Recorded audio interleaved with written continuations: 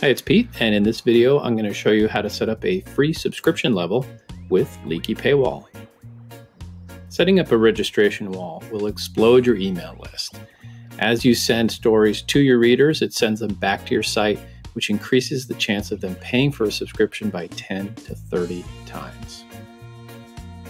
As an added bonus, the larger your email list is, the more you can charge for sponsorships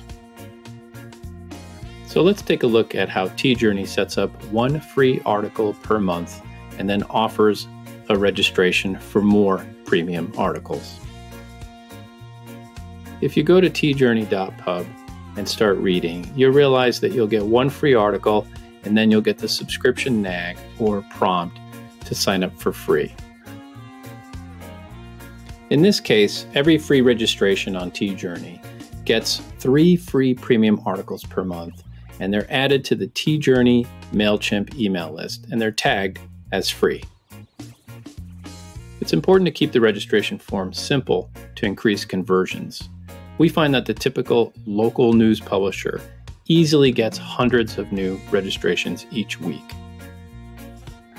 Once registered, our registration redirect add on will take the reader back to the article they were reading and present them with a message at the top. The conditional display add on will let you post promotional messages at the top for logged in free registrations. This will help promote paid subscriptions. Okay, let's talk about setting this up. First, head into the Leaky Paywall dashboard and click on the Subscriptions tab.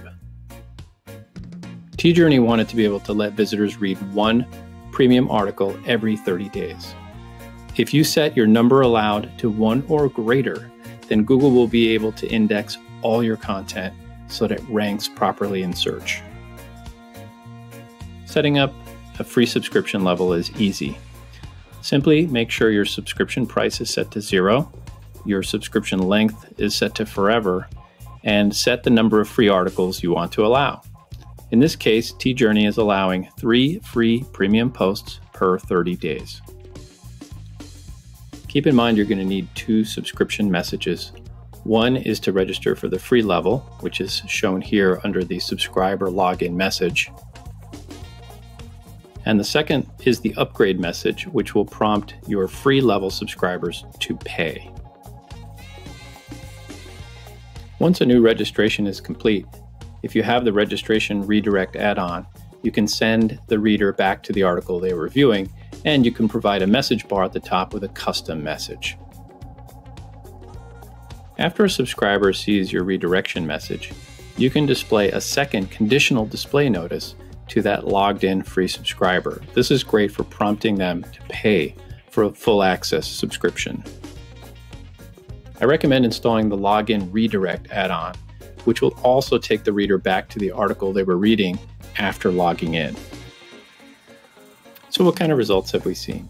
We find that offering free subscriptions increases your email list growth dramatically. Paid subscriptions generally double, and you'll end up with a larger email list. And you can do this without using annoying pop ups. For more help, stop by and say hello.